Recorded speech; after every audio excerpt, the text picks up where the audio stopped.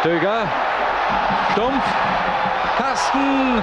Jetzt. Und jetzt Küper.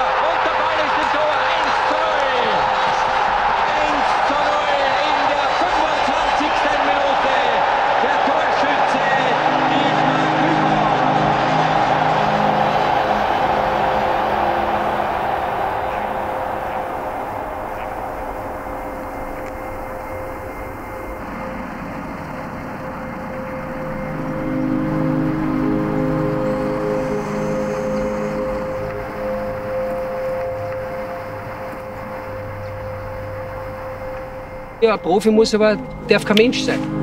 Weißt? Und das, das habe ich nie verstanden. Weißt? Ein Profi ist genauso ein Mensch und macht genauso Fehler, ich glaube, wenn er jede Woche macht. Dreimal.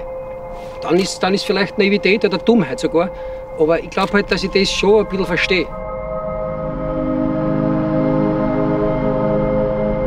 Der setzt es so unter Druck und glaubt, äh, es hängt jetzt für ihn ab. Ich habe ihm gesagt, Junge, das ist ein Spiel.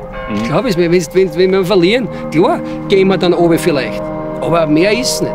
Weißt die Sonne geht morgen auf oder nicht auf, Sonntag wieder auch oder, oder Montag wird wieder. So Trottelsprüche, aber, aber die habe ich immer so gesagt. Ich habe immer gemeint, mir ist das wurscht. Fußball ist das auch nicht. Aber, aber was nutzt man das, wenn es euch einsperrt und wenn es euch quasi, dass euch geißelt, nicht?